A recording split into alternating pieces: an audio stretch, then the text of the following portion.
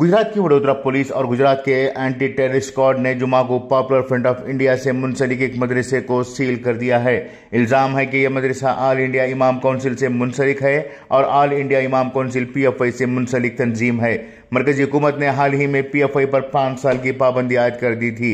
Assistant commissioner of police ने कहा कि हमने एक मदरसे में तलाशी ली जहाँ पर ऑल इंडिया इमाम काउंसिल्स की मीटिंग्स हुआ करती थी और इसे सील कर दिया गया है, जबकि ट्रस्टीज से पूछताछ की जा रही है।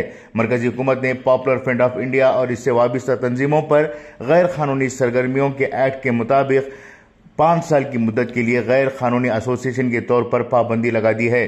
वजारत दाखिला ने ऐलान मंगल की देर रात किया था और इस सिलसिले में एक नोटिफिकेशन जारी करते हुए कहा था कि पीएफआई और इसके मुलहका इदारों या महाजों को फौरी असर से गैर कानूनी एसोसिएशन करार दिया जाए।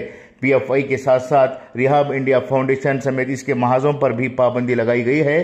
कैंपस प्रिंट ऑफ़ इंडिया और India imam council, national confederation of human rights organization, national women's front, junior front, empower India foundation को गैर कानूनी एसोसिएशन करार दिया है।